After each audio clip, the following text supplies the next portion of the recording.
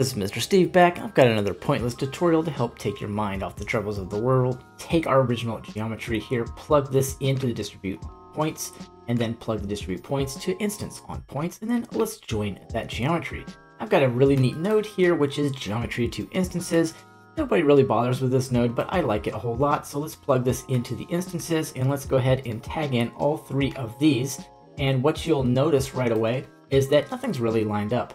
No big deal. So let's get an align rotation to vector. And what we can do is grab the distributes rotation, which is built into the node. We need to face these out on the normal. So let's just tag this in. And now for the rotation here, ah, boom, there we go. So now we do have a problem though. There is this nasty little overlap of all of our instances. So we'll just go ahead and click pick instance.